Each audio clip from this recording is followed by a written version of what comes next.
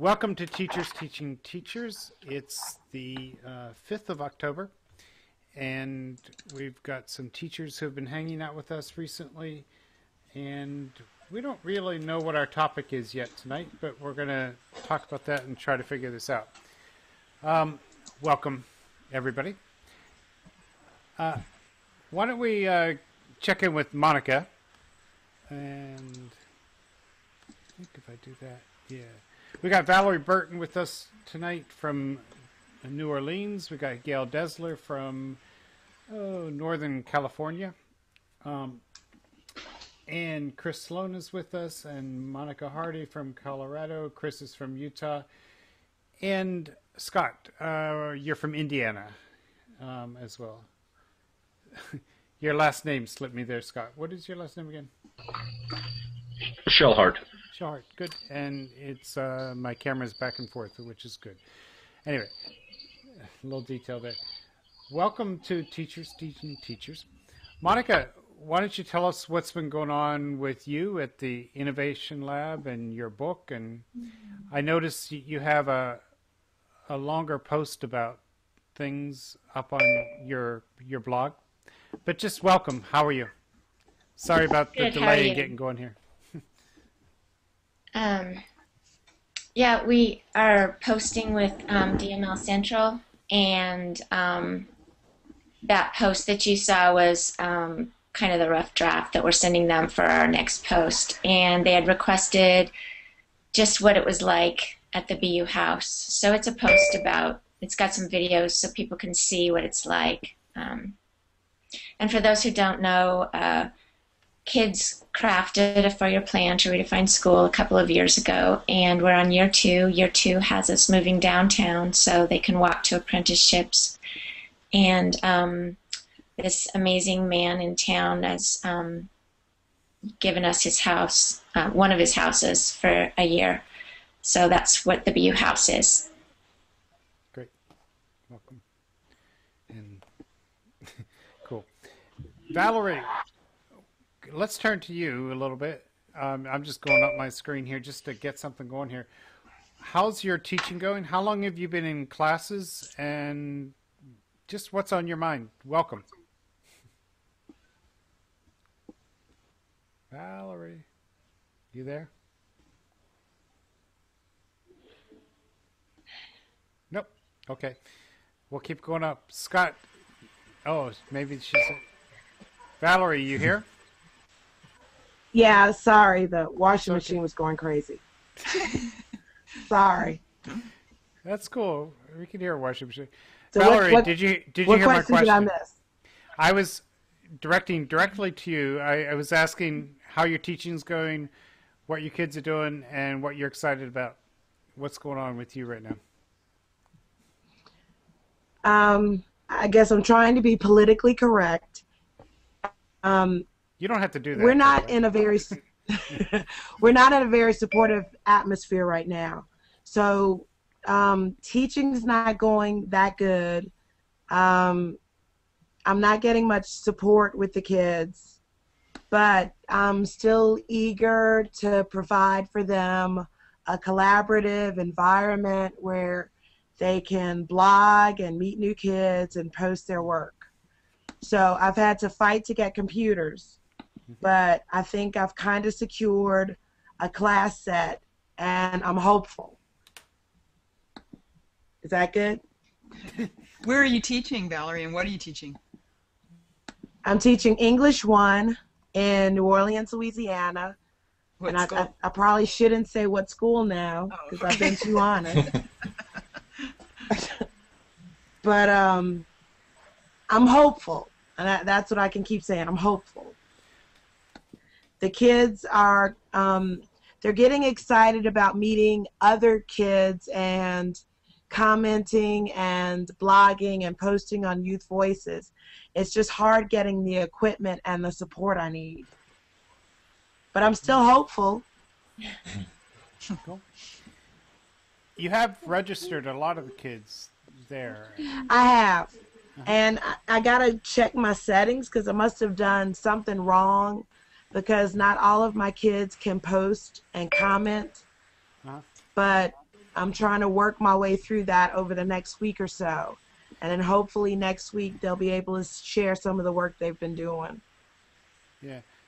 It's possible that you didn't make them members, um, but send me an email or I'll send you one with, with what I think is the problem. And, and feel free to call me. I think I sent you an email with my phone number. You did. Thank Okay. you. Thank you So- very much, Paul. We'll, we can always Thank you very out. much.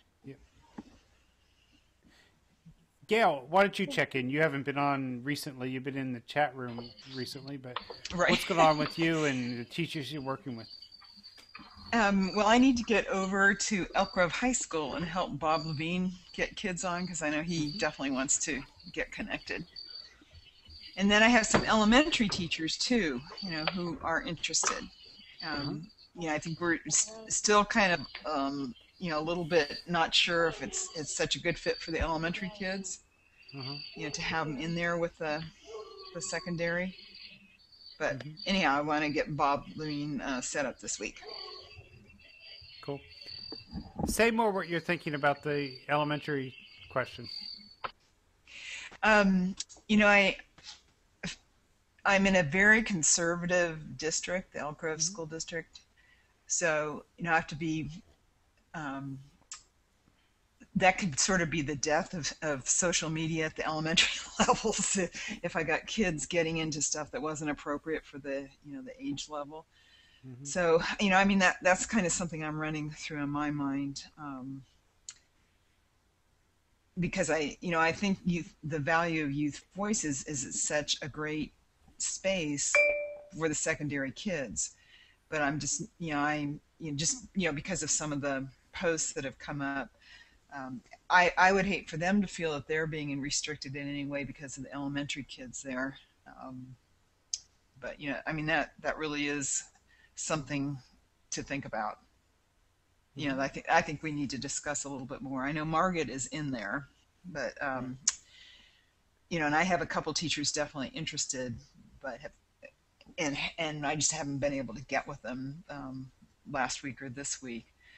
But um, you know, I, I was just thinking about a couple of years ago. You know, we had the uh, youth radio that Kevin Hodgson ran Right. that was for the elementary kids. Um, I guess we had some, we might have had some middle coming in there too, but um, you know, I, I, I'm just concerned a little bit, you know, that it could be a two-way. I don't want, I don't want it to be, I don't want the elementary presence to be restrictions for the secondary kids, but I also have to have some concerns for. Um, you know, if we have administrators or parents, et cetera, if they happen to, you know, wander in there and head into the secondary and see something that they don't think is appropriate, that could be an issue. Mhm. I'd like to keep talking about this if we could. Is Yeah, that, I mean, yeah. this is a good topic. Uh, Monica, do you? I mean, you know, do you have a way to ask us questions about that and help us think about it?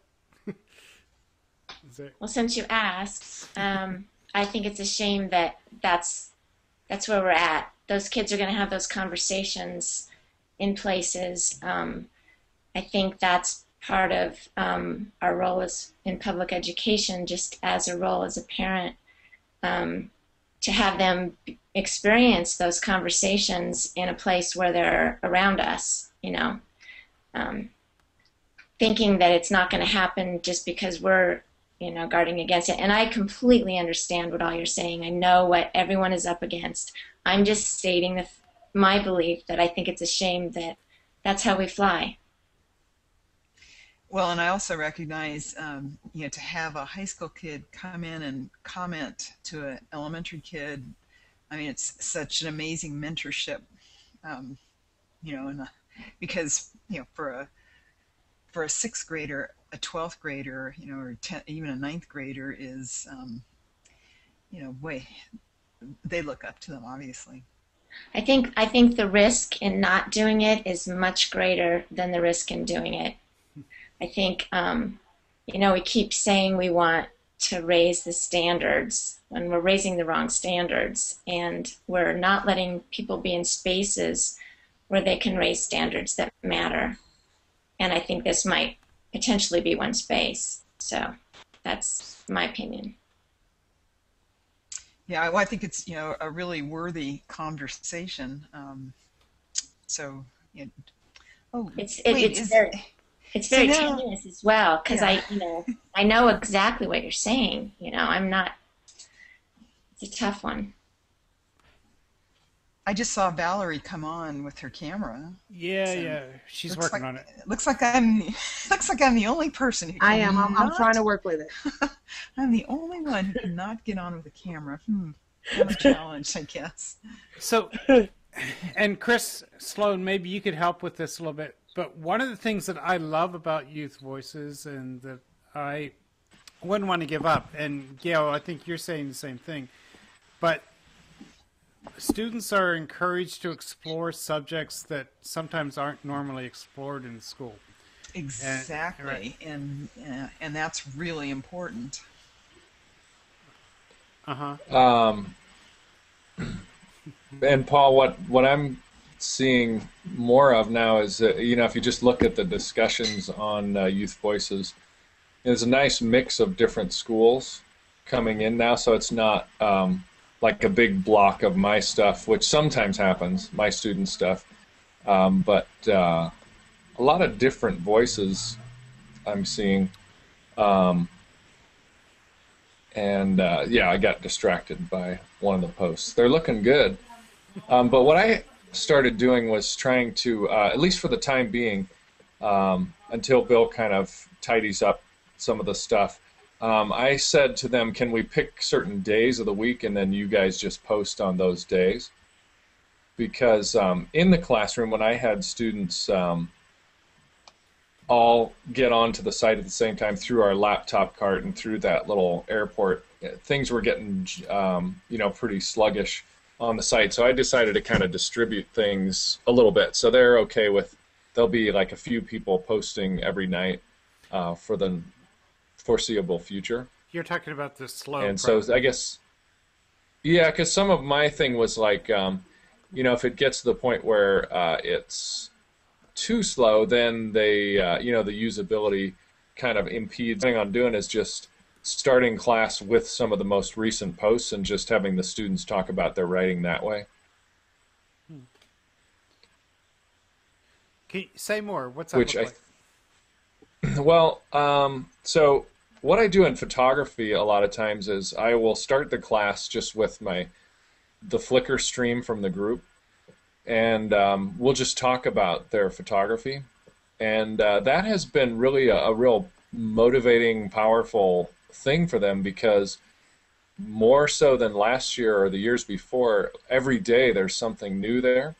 And so there's something about getting your stuff up there. You know, I, I can project on a whiteboard, um, seeing their stuff and then having people talk about it that seems to make it more valuable to the group. And also, um, I can bring a lot of the teaching points, you know, about photography into it. And so I would say that the photography has gotten, with the writing now, uh, is if a few of them post every day, then I could start the class with some of those posts and just have people, you know, they could read it out loud and we could talk about it from a, you know, sentence level kind of thing, or we could just talk about the ideas. Um, but I think starting with their writing and bringing that more prominently into the curriculum, I think is going to have the same effect on their writing. So we'll see. So you start with posts I was listening- by kids in the room. Sorry, Monica. No, that's fine. What was that? I was asking Tell when you're what- projecting a post, it's the kid. It's it's a, a discussion post created by somebody who's in the room at the time. Um, well, if it's like photography, actually, sometimes it's. I have two classes of photography, and so sometimes I talk about the other classes' photography. But you know, when the students talk most is when they talk about the people who are in that room, and so I imagine most of the talking is going to be from the people who are in that room, if it's like photography, which I'm thinking it will. But anyway, I'm just saying. What did you want to ask or say? I was just gonna. Um, I w- been trying to catch some of Jeff Lebow's, you know, hangout sessions, and Mhm.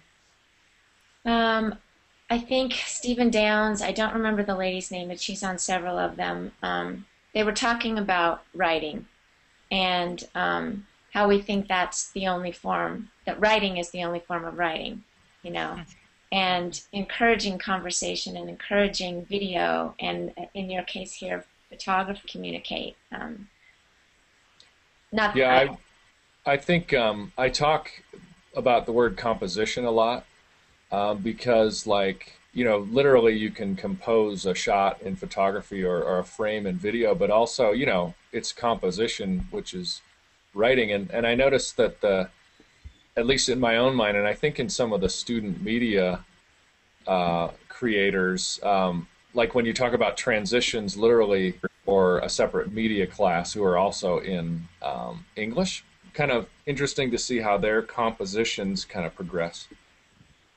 and I know I'm in a unique situation, um, but I'm, I'm going to go ahead and say the things that are I'm benefiting from it. Um, I think because we separate, you know, disciplines so much, we have a tendency not to zoom out and think metaphorically and think in fractals. And there's so much benefit to whichever realm the kid connects to communicating. What you just said, if, if they if we can let that be their entry point then yeah, they're going to see writing's going to be so much easier for them. You know, if they've if they've talked about those things like you're saying about a video, you know, um, they're going to want to write more, um, and then they're going to know those elements of writing. I, I, just I just feel we've missed out on that with our um, focused curriculum and and you know separating into different disciplines. Mm-hmm. But I love to, I love that you're talking about that. I think that's great. And I can follow with the story that I, you know, spent whatever extra time I had over the last few days making sure that um, Audacity is on every computer, and there's an there's a headset on every computer, and that there's a microphone on every computer. So now, so now my kids have the option to either talk what they want to say or to write it. Um, That's super. You know, What's Audacity? Audacity is just a, I mean, it's not just, it's a wonderful editing, but also recording program. Um, so how do they talk? So there's no video, they're talking? Yeah, there's no video. I don't have webcams on the camera. But, you know, we all it, need it does something We all need to write Google and Hangout and say we need to lower the age just a bit. Yeah. But I actually like audio too, though. Um, but I, you know, I agree with the other. Um, can I play one? Let Let me try to play one if I can, and because it'll get back to Gail's issue of appropriateness too.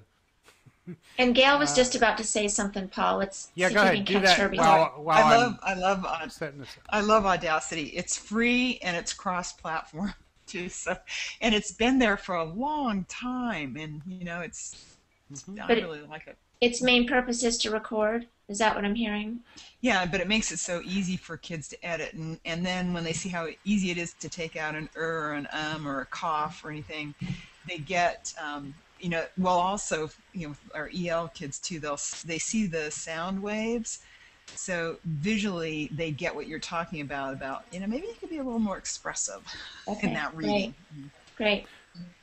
And I would say more more than editing the Oz and uh, so forth, it yeah, it just makes it easy to delete something and go back and start again, kind of thing. But yeah, yeah. I guess or, same point. But not have to delete the whole dang thing. You know, just just take right, out what you right. don't want. Right. Um, so I'm pretty excited about that. So I had this young man, um, Javon, um, and I think that's on the screen. Is that on the screen for everybody? Does everyone see yes. why do why people, do people fight? fight? Okay, I didn't know I was putting it up already, but anyway, so it's there. um, and I don't know if you'll be able to hear it, but I'll tell the quick story. You know, Javon is a young man. It turns out he's 19 years old.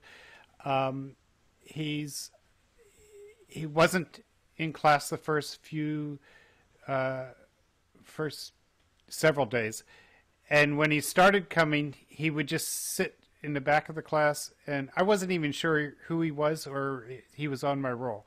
Okay, so this is uh, this is Javon. Um, I eventually figured out who he was, and he was in my class. Um, and I got him to come up with like you know first thing I work with is what what kind of questions what what do you want to think about in this class? So he came up with the question why do people fight? which I think is a pretty good question. But yeah I imagine that a 19 year old is going to talk about that differently than a, somebody in third grade but I do want to push the point that with or Gail and ask um, like even though a 19 year old's perspective from the South Bronx perspective on why do people fight is going to be different than a third grader's somewhere else, I kind of think they can get it. And I, on my side, I like working with Javon and making clear to him that he's got to be appropriate in how he talks about things. But well, it's certainly a universal question too. Yeah I think so. Let me let's see if it works if I play it. Just because of how I have my audio set up, I think you'll be able to hear it. If you can't, let me know. Hi, my name is Javon Carlin. Is that working? I'm 19 yeah. years old. And I attend Bronx Academy High School. I say people fight. Be- oh, um, my topic is why do people fight? I say people fight because of aggravation, stress, and being annoyed. These are three normal reasons for one to fight. I usually fight over money, and I usually fight over money and aggravating situations. And people fight because stress and what's going on, what's going on, in, what's going on in their background. People fight because of their parents, and their parents not feeding them, and they gotta take care of their own. All right. So I got something out of Javon. He uh, he came mm-hmm. back after school because he, he wanted to know if anybody had responded to him yet. Um, oh gosh. So that's yeah. that's so important. Uh, Paul, can you talk about how you got that? Uh, you know, like what? How does that look in the classroom? And um, well, let's. How about that first? Well, first of all, everybody's doing something different. Like the the there's a girl who was working um, on creating an icon, so she's doing that. Other kids are responding to each other, so I'm able to kind of get around and sit down with him. And and then once he got started, he thought he could talk for a very long time about the topic, but he found that he got you know after a minute and a half he didn't have much else to say yet, which is a good thing and he wanted to kind of get rid of it, but I showed him quickly how to export it uh, as an MP3, and then within three minutes it was on the site. Um, so, so that speed I think was really important in in being, you know, he didn't, he was, we were able to value that little minute and a half thing he did. Um, but I'm, so did that answer some of the question? Well, yeah, like, did he? Did he write that, or is it all extemporaneous? So was he, he had, reading it? Is that what you mean? Yeah. I'm going to be different with different kids on that. He had written a sentence, and I suggested he could start with that sentence. Um, but then I wanted him to go much further than that, if he could. So I'm hoping he'll come in, hear what he did, and then think, you know, oh, I could compose this, I could create this in a different way.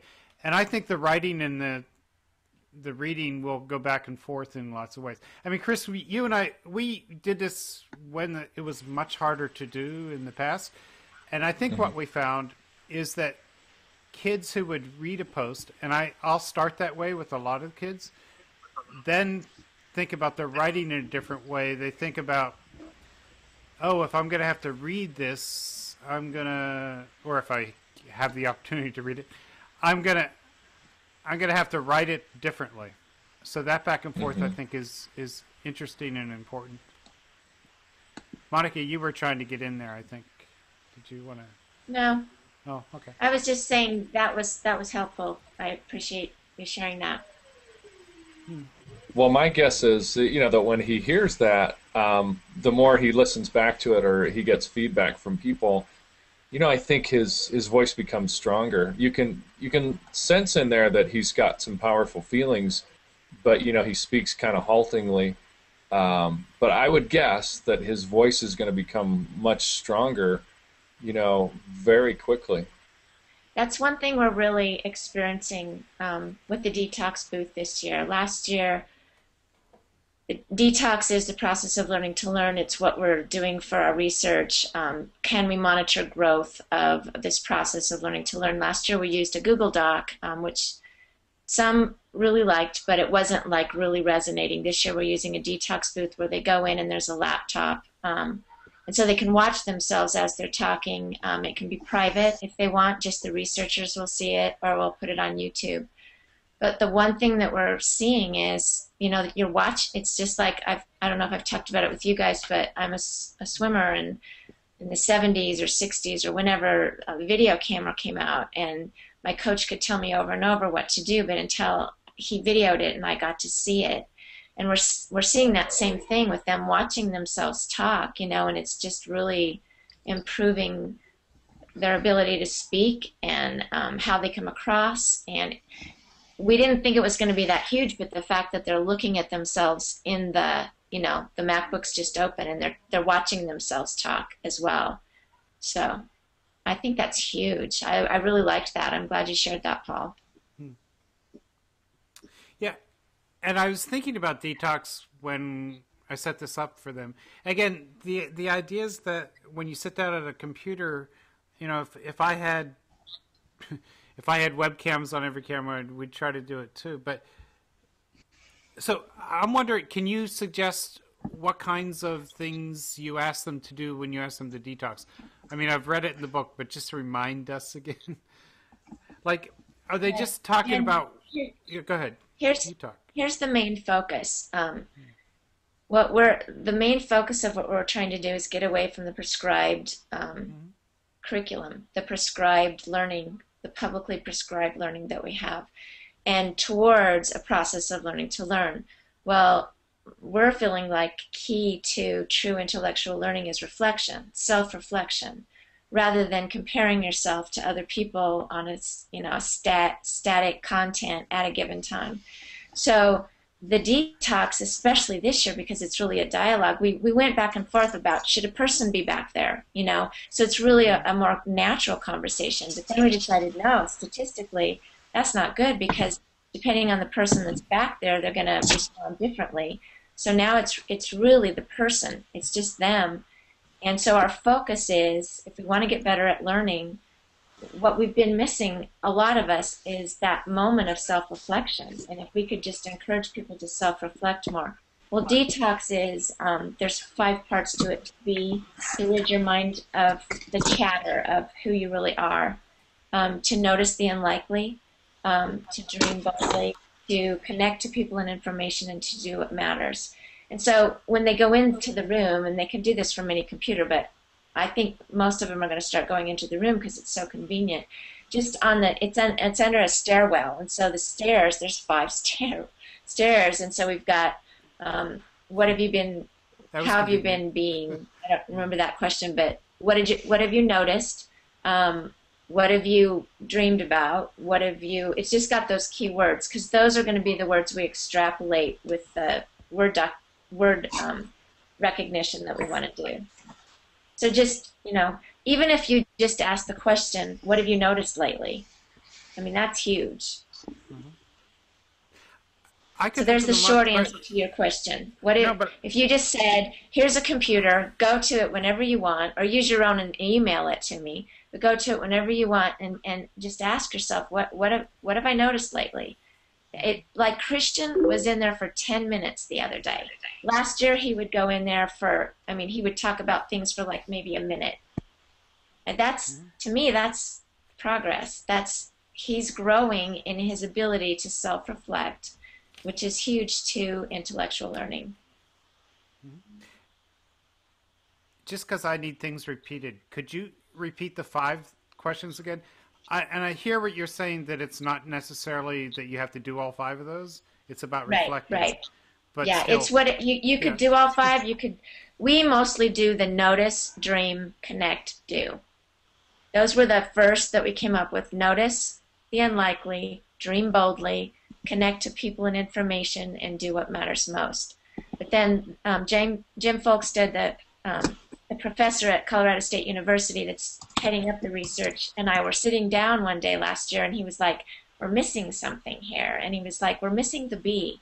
you've got to rid your mind of all the chatter, you know, of who who you really are, because most of us are other people. Um, so it's be, notice, dream, connect, do. Nice. And it would be cool if, I mean, you know, if we did that too, even if we're not videotaping.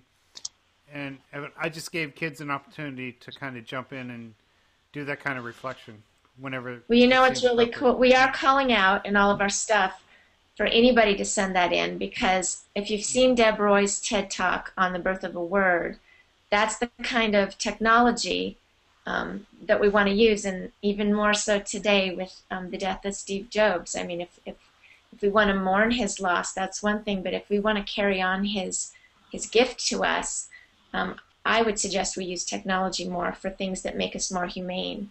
And so this is one way. Um, we've got over 800 videos now, and if we call in from videos all over the place, technology can handle that. If, if you don't believe it, watch Deb Roy's talk. Um, it, so that would be great, Paul. Um, but I also would highly recommend. I, I can't tell you how much it's it's helped me, and it's changed me to do it myself, and it's mm-hmm. helped the kids to do it more because they're watching me do it. You know. Hmm. Cool. It's really helpful. Fred Mindlin has joined us. Welcome. Hi, everyone. Sorry, I'm without my headphones right now. I hope you Seems can hear me working. okay. Sounds great. There's no reverb. Good. Okay. Yeah, we're good. Fred, what's going on with you? Welcome. you can. Well, thanks. Um, I'm in the middle of just the very first steps of three different projects. Um, one that I'm really excited about is a collaboration with the Museum of Art and History in Santa Cruz, which has a new, really dynamic director. Um, and she's just started this last May, I believe, May or June, and had spent the previous two years traveling all over the world helping museums design and develop interactive exhibits. And um, so I met with her and pitched her this idea that I got off of a, uh, a, a museum blog where a group of middle school students came into this museum and researched some objects in the museum and then wrote Wikipedia articles about them. So it was a very much a real world task and a, a, a regular adult level contribution of knowledge, um, which I felt was just absolutely the kind of authentic learning experience that I've been looking for. So I met with their um, collections manager. They they don't even have an official archivist um, at the museum anymore. They used to, but uh, she was very excited about this idea. Her first thought was, well, we have a huge collection of postcards, and that seemed like something that could be an, an interesting kind of research um, project in the sense that you, with uh, a local history bank of images that deep, we could get into scanning and researching both the images themselves and the photographers or creators of the images and see if there's anybody around to interview and so on. But then she suggested they also have a whole collection of unknowns, of actual physical stuff that they're not sure exactly what it is.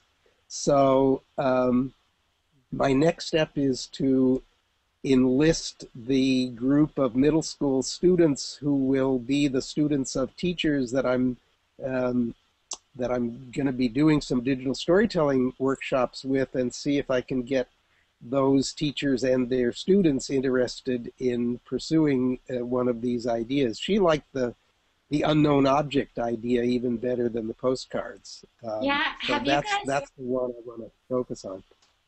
I've heard of a story, and maybe you guys can help, but I think someone made up that there were unknowns in some kind of a library or museum, and people went crazy. I mean, that is a great. I think that's a great idea. Um, I, I, wish I could remember it. Does anybody? Does that ring uh-huh. a bell with anyone? Well, the, it, what it makes me think of is the, the uh, Banksy, the um, street artist, made his name uh, internationally when he successfully shuffled in some pieces to the British Museum. He just walked in, stuck it to the wall, and they stayed there for weeks before anybody noticed that they weren't actually part of the collection. I don't think that's the same story, but it made no, me think it's, of it's not. Someone someone made up. They were making up a story that they needed help with what what you just said. That there were some unknowns and they needed help figuring it out. Um, but just the fact that you, that what he did, you know, that's what we're trying to do in our house is is every day something different is there so that people when people leave the house they're always like dang i had to really think in that house. I mean things are we're not used to things being different. We're used to things being the same. Um, i hate to take up so much time but there's one more little um, a girl that's in the lab. She's she's going every day to a kindergarten class because last year she said she really is very curious about how we learn. And so we asked her just yesterday if she were to be able to create an atmosphere for kids because she's in a situation where she's with an incredible teacher but it's you know it's they have a routine. And she said that she would have a different space all the time because of that very thing that we just get so used to mm-hmm. how things are that um so i think kids would be very intrigued with oh they don't even know you know? Right, right. that's a great idea that observation about the physical space being different makes me think about something I've always wanted to investigate anthropologically the way in which in uh, like conferences or meetings where there are several sessions it's almost universally in my experience people will pick a chair or a spot and the next day they come back to that same spot and they're disconcerted and and uncomfortable if somebody has taken over their spot. This is a you know a brand new public space, and there is no ownership here. Why? How do we get so attached so quickly to some little um, piece of our physical environment? So, Fred, exactly. what's what's your next step with that project? With the museum project?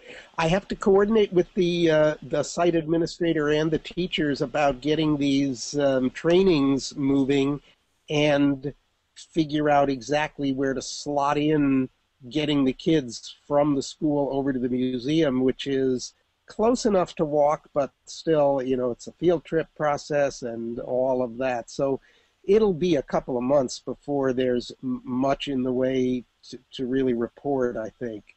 Walk, um, Fred, walk. Walking is so good. Walk.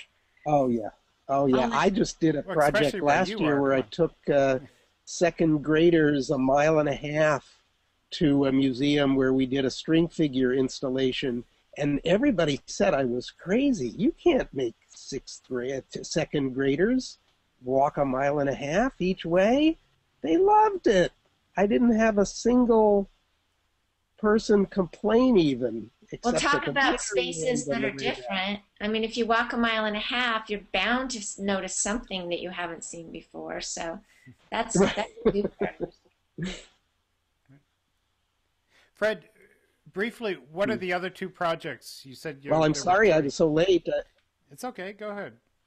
so the other two projects I'm doing, I, I have another collaboration going with um, that's a little further along with the Renaissance High School Continuation School group mm-hmm. um, because they're, again, the teachers that I'm working with are still getting up to speed um, with what is going to actually go into the curriculum with them. So I decided I needed to do something on my own. So I created a community service project in a collaboration again with the Museum of Art and History. They're doing community events where they have artists and artisans demonstrate things like they're calling it Maker at the Ma. The Ma, M M A H, Museum of Art and History, is how people refer to the museum.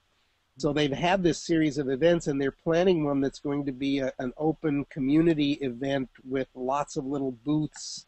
So I volunteered to create a group of Renaissance High students who will come and teach string games to the the kids and any adults who are interested who come to this event. That'll be November 18th, and we've had two meetings so far of me starting to teach the kids string games so they can then teach them um, to whoever comes. Should I know what string games are? Uh, Cat's Cradle, um, Jacob's Ladder, the Okay, Yeah, I okay, thanks. Yeah, I do. right. Great. And then where, but where's Yeah. it go after that? Where does it go after that? Uh, the idea is, in terms of a shareable product from that, is the reflections that the kids have on the whole process of learning something that they didn't know, and then learning how to teach it, and then teaching it, and what do what what was the most challenging in all of those steps. It actually gave me an idea um, for this. Um, uh, uh, the, the MacArthur um, Mozilla digital badges competition that's up. And I was So- thinking about I I, I don't know if Yeah, people are that. familiar with that. It's, it's a whole yeah, other tell topic. your idea is. Well, the idea, you know, I, I had a lot of trouble with the whole badges. Um, you know, the, I've never do, I never was a scout. I never did merit badges. I don't know anything about it. I've always been a little um, leery of competition because I'm always trying to foster collaboration and cooperation instead. And it just feels, oh, I'm going to earn this badge. It's like, I don't know. It's something about it that never felt right to me. So I talked to a friend of mine who was an Eagle Scout and did lots of badges, and he said what he remembers about the whole experience as being valuable was that was how they got their parents to take them places and do things out in nature. Um, it was the social part of it, the relating to the other kids, and the the the actual outdoor excursions that were what really mattered. So the idea in relation to these digital badges would be that, yeah, you create a series of badges, but what what the the earning the badge is not just showing I know how to do this or that skill, but then, okay, why? What is the purpose of learning that skill? Showing that you know it. What good can you do with it? So that's the next level, and then now show a group of real people that you're in the same room with and or online with in real uh, time how you did that whatever that interesting worthwhile thing that getting this skill enables you to do. And that's your next level is the presentation and then the reflection on the whole process is yet another level of badgedom or whatever. So that that's what I've been toying with. Uh, here's here's where it comes from. Mozilla, as part of their open source development effort, have created a a, a whole API for um, creating digital badges, so that a web designer can put up a badge saying, "I did the." Uh, PHP certification. It's essentially like the you know big company certifications, but it's all being done in an open source, open source, open learning environment where all the resources for anybody to accomplish any of it is supposed to be there for free for and and online and accessible.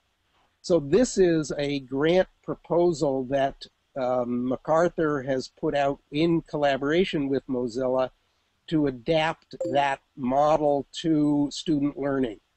So you create your, your there's three levels of of the uh, of the project. One is, and I, I still don't understand exactly the difference between these first two. One is designing the actual badges. Then the other is, I, I guess, designing the coursework for getting the badges. And then there's a third level of researching how effective is all of this. And you can do a, any one of those or all three. That's all Um, worth looking at. So it would be. Uh, Fred. uh, uh, So here's here's my thing about that, Fred. Have have you guys Right. um, read Clay Shirky's um, Cognitive Surplus? The story's probably elsewhere, but the story about the daycare centers in Israel. Um, tell us. Yeah. there's 10 daycare centers and uh, there's a late fee if you pick up there's no late fee if you pick up your kid late um, and not very many people are late and then they impose a late fee on about seven of them and it, it equals about three dollars worth if you pick up your kid 10 minutes past 10 minutes late you pay this three dollars well the pickup increased and then they take away the fee and it stays up there. And this whole idea of this culture of trust and now now people are no longer you're no longer imposing on people because it's a marketing deal you know? And i just have a trouble with um, krishnamurti wrote a book about the significance of life and in it he said that um, partial freedom is no freedom. And i feel the same way about badges i mean we can talk about it ideally but when it plays out here's an example sal khan um, when when Gates got a hold of him, which is great. I mean, Gates is trying to help as much as he can, but now they're talking about kids who, now that the badges are in place, kids are even a- admitting that they're doing it for the badges. You know. So I just Right. and then Dan Pink talking about the the carrot and the stick, and I just I don't know if we're going over. You know, we're trying to make Oh, these. well, I- Absolutely. That's where that's what I started with. That's what I'm saying is my basic objection to the whole thing, and it goes back even further than that. It's to the the basic idea that that competition is in any way effective as a motivator. Uh, it, cooperation is actually. It, there's a, a wonderful discussion by um, David Graeber, this economist who just published a, a wonderful sounding book. I haven't read it. I've just heard him interviewed about it several times called debt the first 5,000 years. Who one of his lines that I love is capitalism is really just a bad way to organize the underlying communism of daily life. That is, when there is no such thing as an original barter, what there is originally is is the cooperation that everybody needs to to get along with everybody else. That's you don't go and calculate, oh, if I loan my hammer to my neighbor, then he's going to owe me for uh, uh, only that level of tool. And, and what if I wanted to borrow a more expensive tool from him? He wouldn't lend. I mean, it just, it's craziness. It is not the way the world works. So Fred, Fred, join us fact, and try to try to submit are- one. Try to submit one to Mozilla without the badges.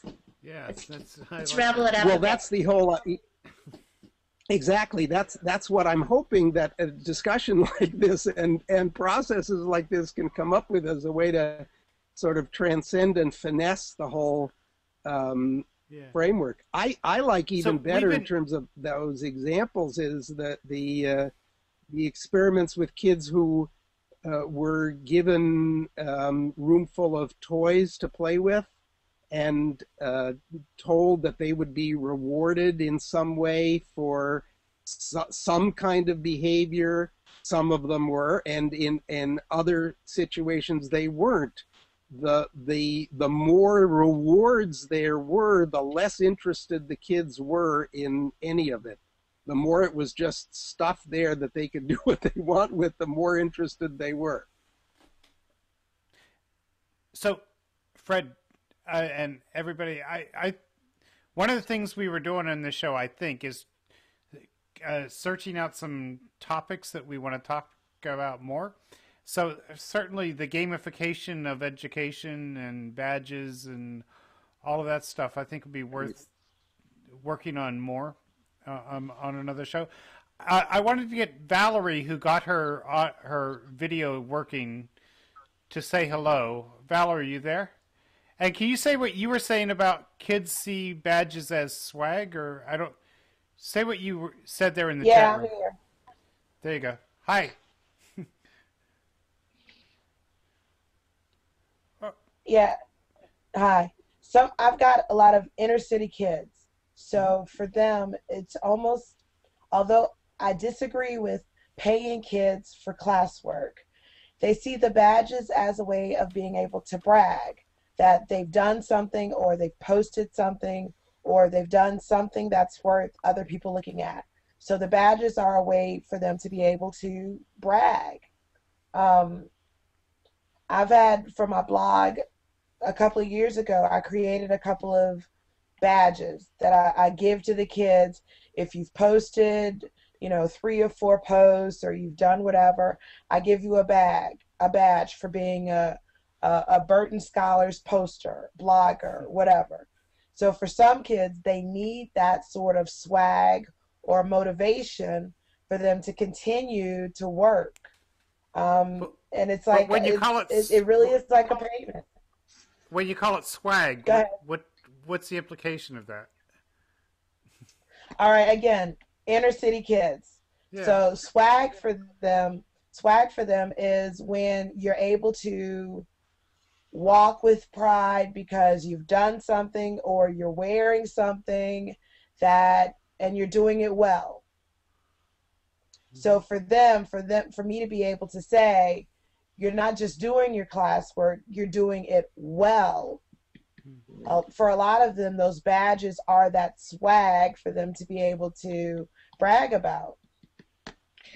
And I'd agree, Valerie. In in the publicly prescribed schools that we have, we do need things like that. It, we're not gonna we're not gonna get there unless we get rid of that publicly prescribed, you know, and let kids follow their passion. So that's great that that's working for you.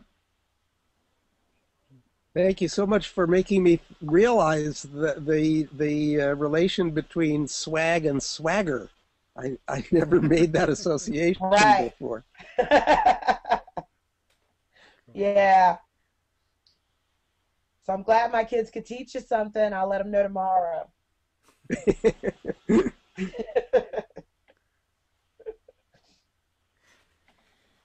So, So- by any means necessary, I try to get them to do work.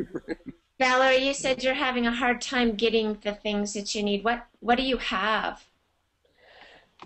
Um, we're having a lot of problems. Um, we're having a lot of discipline problems. I'm having a lot of problems getting the equipment I need. Like what what Uh, equipment do you have right now, Valerie? Luckily, I've got faculty members who understand that for me, being online is essential for my curriculum. So they have donated their laptops or their desktops or whatever. So I'm borrowing a class set of netbooks, but I have to give it back in a couple of days. But I've got teachers who give me desktops. So I think I've got like seven desktops in my classroom. That would be sitting. I might have secured. That would be sitting and ahead, doing Paul. nothing, right? In their classroom. I'm sorry. Do it again, Paul. I'm just saying, those computers would be sitting and doing nothing in their classrooms. That's the teachers. Well, they they might be utilizing them, but they wouldn't be utilizing them every day like they know I would utilize them every day. Valerie, a- any of your kids have um, cell phones? We're a no cell phone community at my school. I get that, but do any of your kids have cell phones? All of them have them. And I've already got written up twice for allowing them to use the cell phones in the classroom. And, and you know, yeah, what can you do? That's one thing that we're working on, though, um, Valerie, uh, globally. So just know that you're not alone, and, and people are working on creating more spaces of permission. Um, because that would solve a lot of your problems right there. It would. If they have those and um, the access that you're talking about and the the connections you want them to make. How many of them have cell phones that have um, connection? They're not just phone. Okay. 95%. The kids will sit in class with the cell phones under their desk and tell me that they can post to their blog Oh, God. using their Okay. cell phone. Do you do you want to send us or send me um, names of people in your district? I'd be happy to visit with them. I will, My I will my- do that. 'cause I- I'm fighting. my principal said that uh, he had a realization when he sat with a young person and said, "What's more important to you, getting your phone back or getting your diploma?" And the kid said, "My phone." Yeah. But- Because what does the phone represent? You guys, it's so different than I see over the course of the last 20 years I've been in education, kids are happier. Even though to me they're even more restricted because the curriculum is even more bound and not as helpful to them in their future.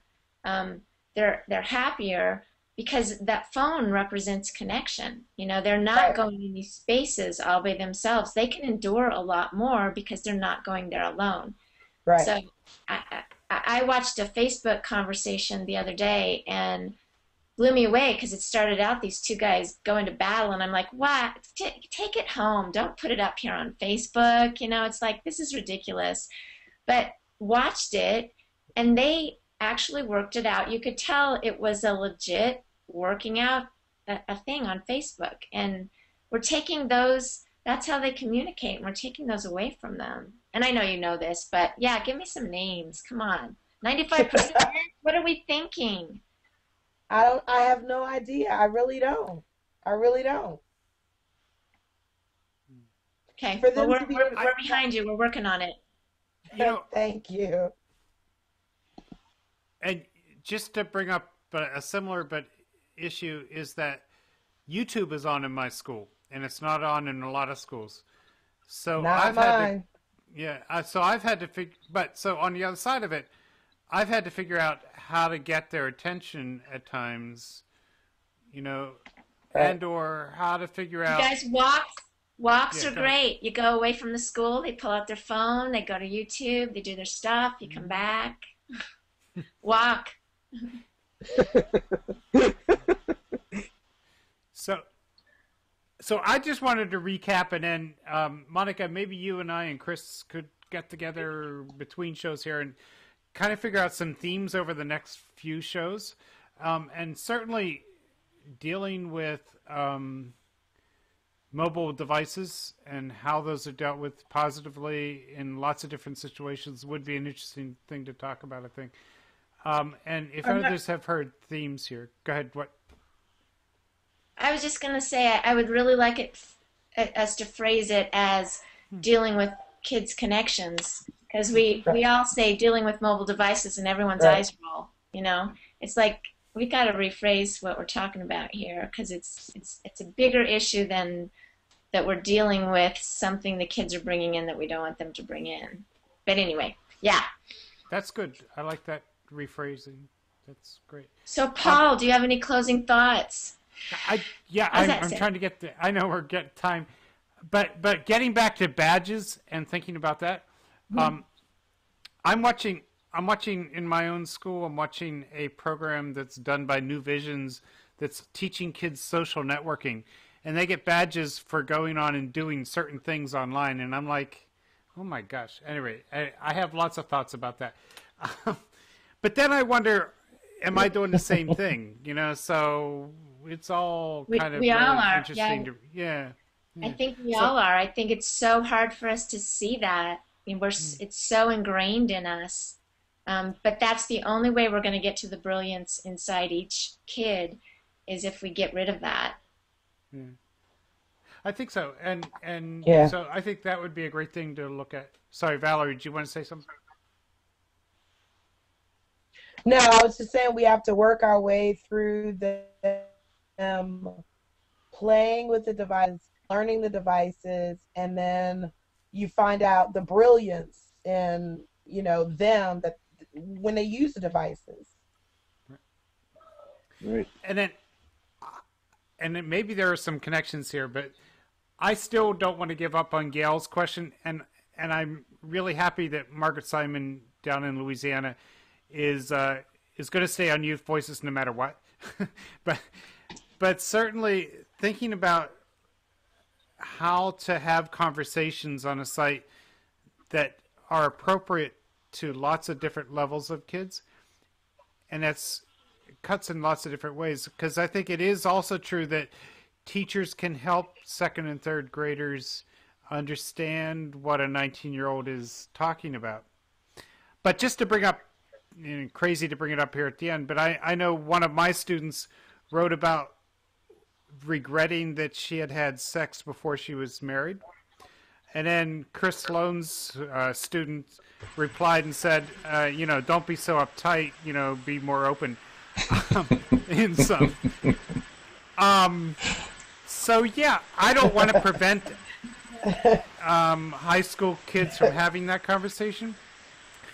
But if you look at what's actually there, I don't think it's inappropriate at all for a second or third grader to understand that, you know, here's here are teenagers having this conversation.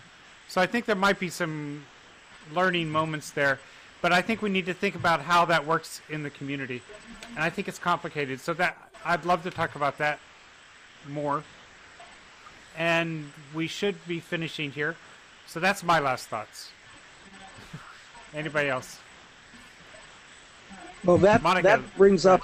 I don't know if anybody else uh, uh, picked up on and read the uh, recent several different pieces, but all with the same point by Dana Boyd about cyberbullying, and the the basically she's saying that there isn't any current um, program claiming to address cyberbullying that actually gets the way kids really are thinking about the, the issue. And that So- it's a whole discussion, but I it, it would be a, I think it relates to some of these issues that we've just been talking about. And we could have Dana on. That'd be great to do. Yeah. Sounds good. Chris, any last thoughts? We're way over time. many many Sorry, last thoughts but uh, you know you're uh, just the one that i would share is um, paul we go back and forth about the the benefits or the charm of the one room schoolhouse and what we lost in that and i think that you know a lot of what you're talking about is the kind of school that my dad went to and that is you know you do have older kids in the room with the younger kids and you work it out so i think there's no problem with having the young kids with the old kids because I have young kids and old kids in the house all the time anyway, and it seems to work out well. So, uh, yeah, that's my final thought. Is it's kind of the one room schoolhouse. But you teach the old kids, and you're not going to get in trouble when there are mistakes. So, yeah, it's just No, I think I think I share responsibility. I, I agree. Yeah, absolutely. Yeah, Fair enough. Um, how do we draw this to a close? Monica, do you have Uh, any thoughts? And who's our Unless our guest next week? Do you want to say um, a little bit about her? I hope it's going to Sure. work. out. Um, Catherine Von Jan, I think is how you say her last name, and she started Rad Matter, um, which Dale Stephens has picked up. Um, it's pretty amazing. It fits in with the, the Kids for Your Plan, where 12 plus is a quasi career. And, you know, for years there's been um, you, CEOs paying kids to go to universities. Um, they call them incubation centers in the university. Um, so this is a way to to branch that out even more. So um, we had met last year at Providence and actually sat with her. Uh, we got really close and sat with her trying to come up with a name for this. Didn't realize it was Rad Matter. Met up with Dale Stephens this last year. Was really interested in this Rad Matter thing he kept talking about. Saw Dale and Catherine standing together at Providence and said, "Oh, you guys know each other?" And they're like, we're doing rad matter and so that pretty much blew me away so she'll be here um, she's part of the book now um, So that'll be great. And what I'd like to close with is um, um, Steve Jobs, um, a, a quote from his 2005 uh, graduation um, that your time is limited, and so don't waste it um, living someone else's life. And then he says, stay hungry and stay foolish. Um, so that's how I'd like to end it. Thank you. Um, and I, we're just gonna have to end here. Um, but I but I love that this show has prompted us to think about lots of things to think about, um, and to continue talking about in future shows. And we should get that all kind of maybe a little bit organized, but maybe not too. We'll see. Maybe Um, not. Yeah, maybe not. That's okay. I agree. Um, but, you know, organizing in that like inviting Dana Boyd and some other people onto the show with us would be a great thing to do. So I think thinking about that. Hold on now, Paul. You can really get Dana Boyd. Sure. Why not? Do it. I don't know. I'm dying to talk to Dana Boyd. She's Oh, like good. amazing. She goes where the people are. I love it. Yeah. So, um, and you know what? We want to say here at the end that, that uh, we've been broadcasting um, over edtechtalk.com and worldbridges.net. And we want to thank Dave Cormier and Jeff Lebow for giving us the courage to call people up like Dana Boyd and say, we want to talk to you. um, seriously, that's what this is all about. So, um, Exactly. thank you all for your thoughts. And Thanks, uh, Paul. Good to talk to you all. Good night. Thanks, you guys. Night. Good night. Thanks.